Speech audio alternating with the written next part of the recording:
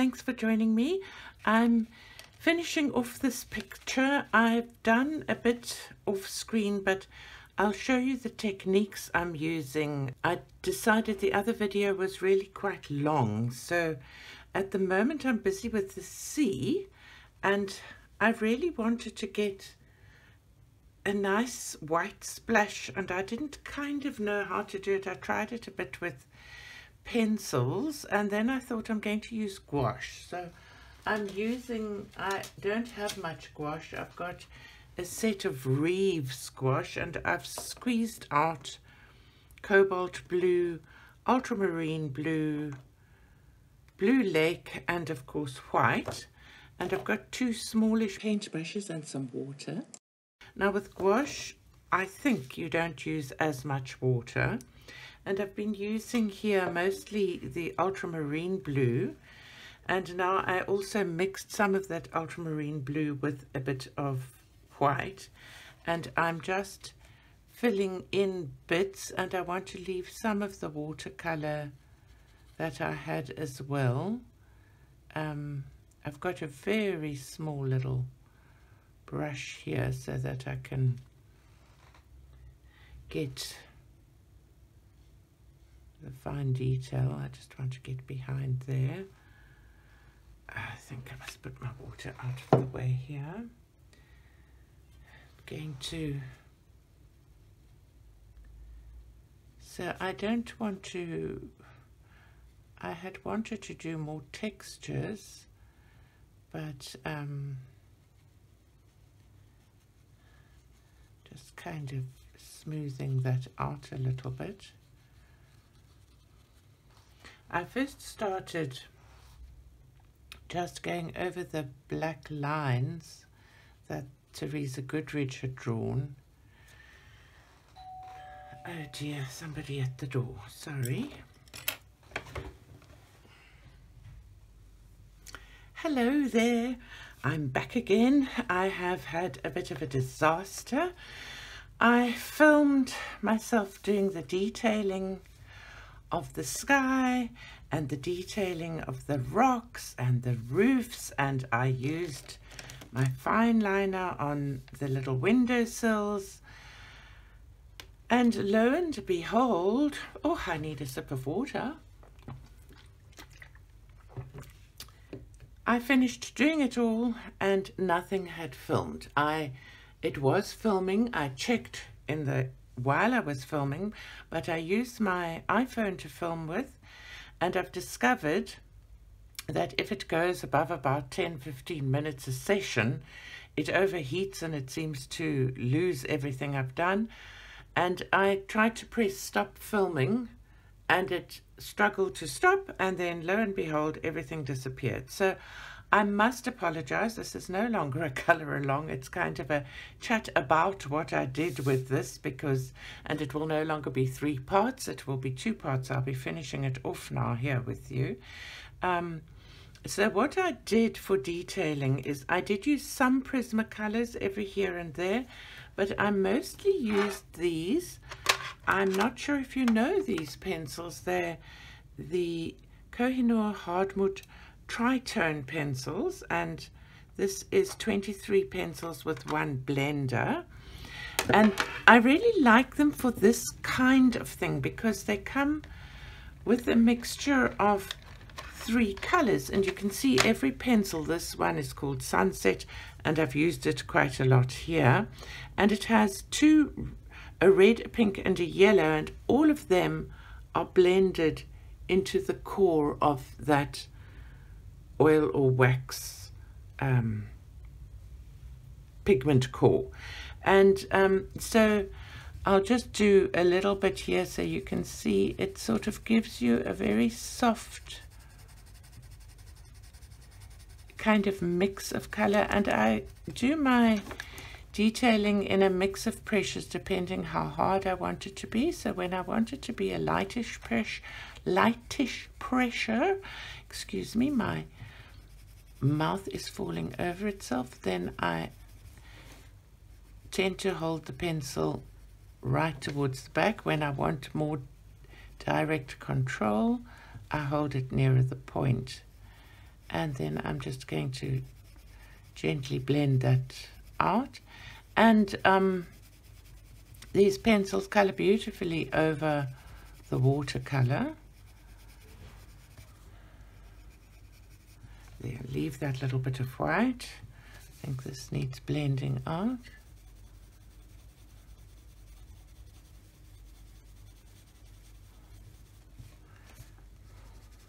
So just going over things like that. And that's what I did on the houses as well. Now I've got a couple of windows to color in so I'm going to do that here. I'm also using these pencils for that. Some light there. Just basically pressing quite hard and coloring it in like a kid would color. Then for the light on the lamp I'm going to use a fine liner.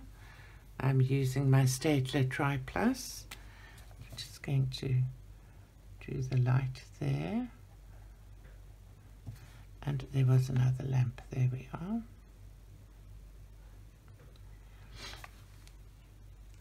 So then at the top of the lamp I'm going to use the dark I used the dark grey actually for the pencils around this dark grey of the Staedtler Tri Plus so I'm going to use the light grey of the Staedtler Tri Plus here just so that it will stand out above. And then I want to do the doors in a kind of a brown. So I'm going to use this pencil. I want to just sharpen it quickly so I've got a good point on it.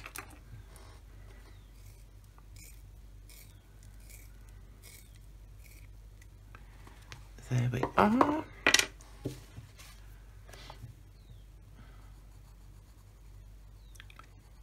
make brown doors and I think I'm going to use the same brown for the tree trunks. This is a dark lower casement window, I think.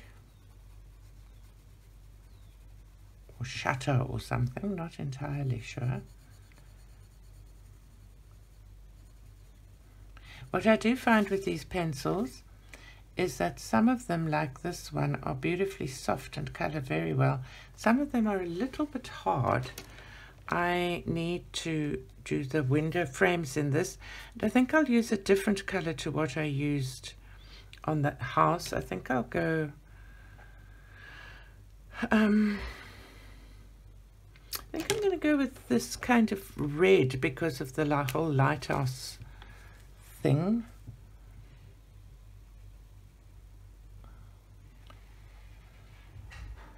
This is a Stabilo fine point. another fine liner that I really like using.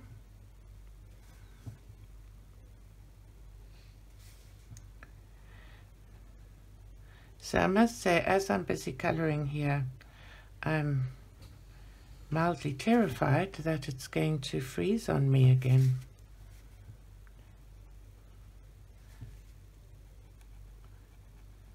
So disappointing when you do something and was chatting about all kinds of things. Can't remember what now, so they're probably unimportant. But um, it's a bit disconcerting that they've all just disappeared. I think I'll use a pale grey here on this boardwalk.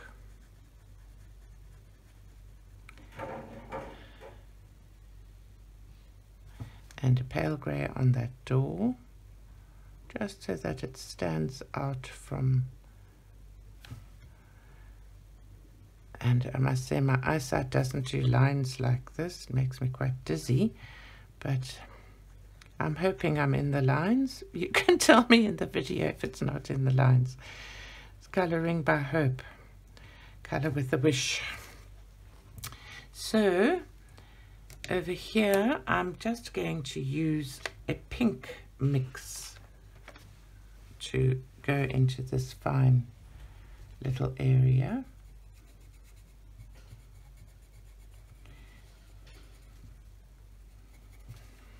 There we are. And now we've got the tree trunks.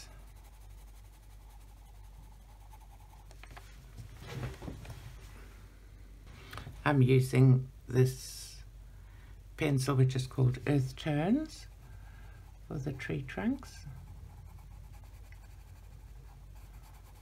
Don't you love seeing trees down at the sea and the way they fight the wind and they just look like these incredibly hardy, gnarly things.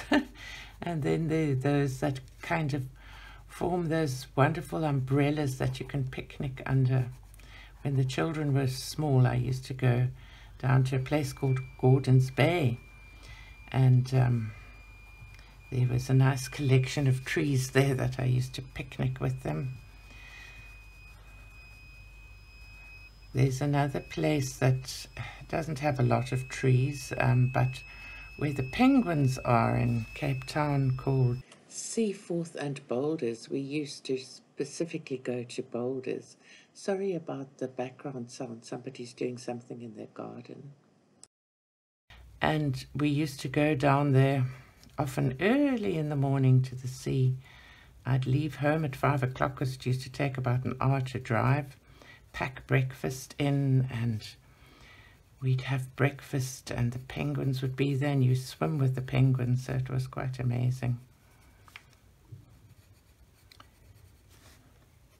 When I was a teenager, I used to go down to Muizenberg Beach all the time, and we've recently had a school reunion for 50 years since our final school year, and we did it on Zoom last year, and so a number of us have been chatting since then. And a friend sent me some amazing photos of when we were teenagers down on Muizenberg Beach. Was so awesome to sort of relive the memory through the old black and white photos. Now I'm just going to detail this tree, these trees actually. I think these here will just do, I'm just doing a little bit around the edges just to bring some interest and stop it being so flat looking in some of the leaves.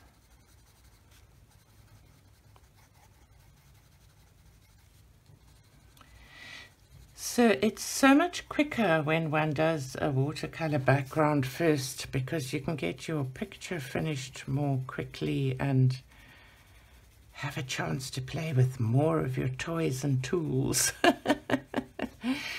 I must say I feel like a kid when I color. It's such fun.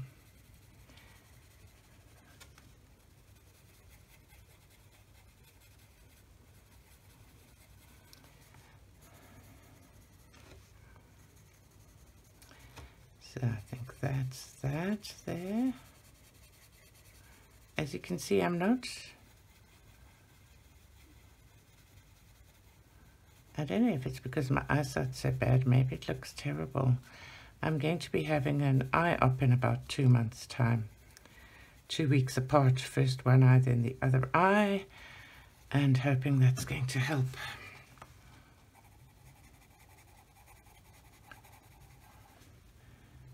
You may see a great improvement in my colouring then.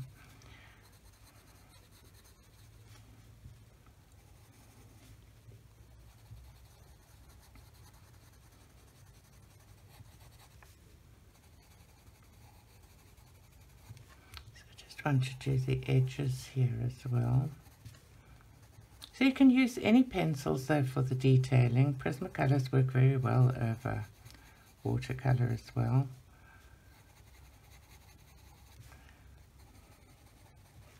There that's worked well there. And then for these I actually want a Prismacolor sort of piney color hope I've got one here. This one. It's an unused pencil. I finished the last one and bought a new one. This is called dark green. I think this is my third dark green Prismacolor that I'm using. It's a very useful green. It's PC908. So I just want to go over some of those, like where the pine boughs would be.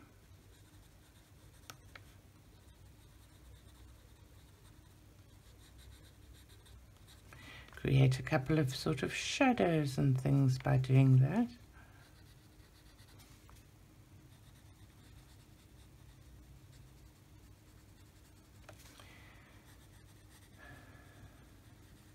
I have this one sharpener that makes these Prismacolor points. This is the point it came with.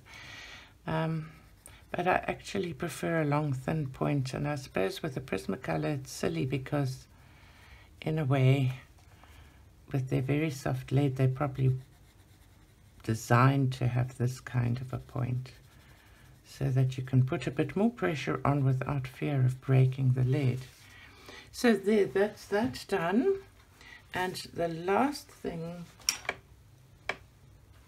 is I'm going to use a very pale grey Prismacolor. This is 20% cool grey PC1060 just for the cement work around the houses.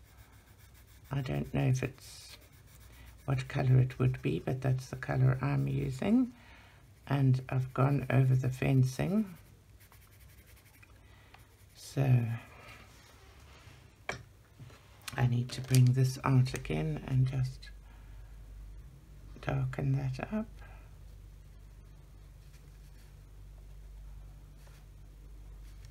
and the street lamp there we are.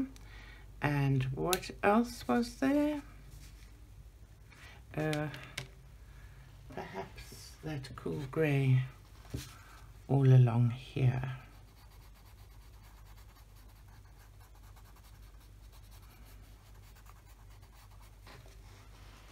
and some I'm using grey for this here because it's in the distance and I don't think you would see the brownness of the tree.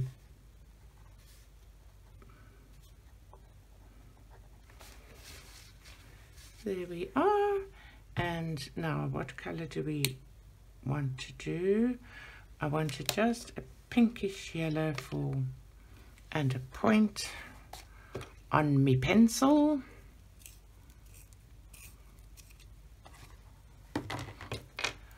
for in between here there's little bits of sunlight I think a nice color just shining through the trees so it looks a little bit different to the houses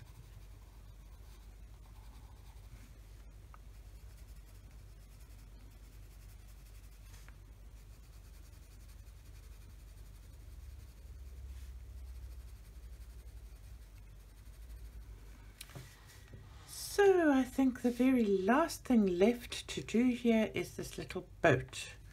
What should we make it? I had thought of a turquoise, but that won't shine. Um, what colour are boats? Like a red. Let's make it a red funnel at any rate. I'm using the fine liner here.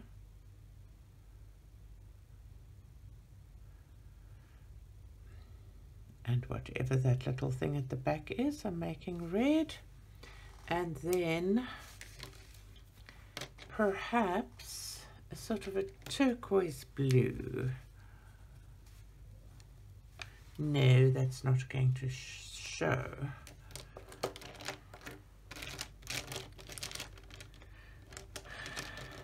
Brownish? Maybe that sort of a colour for the boat. Which turns well with the red. And I think we're done so I'm going to put the lid back on here Oops. so I really would recommend if you don't have these and if you feel like spoiling yourself with something if it's time to be kind to you that you look at these. I'll put a link to them in my in the description of this video. And I'm sure most of you have seen this book already. It's not such a new book anymore, this Teresa Goodridge book. But I'll put a link to that as well. I hope you've enjoyed this. I wanted to just point out that I think that the gouache, I'm sorry we didn't get to be doing this together, but I think the gouache turned out quite nicely with the waves.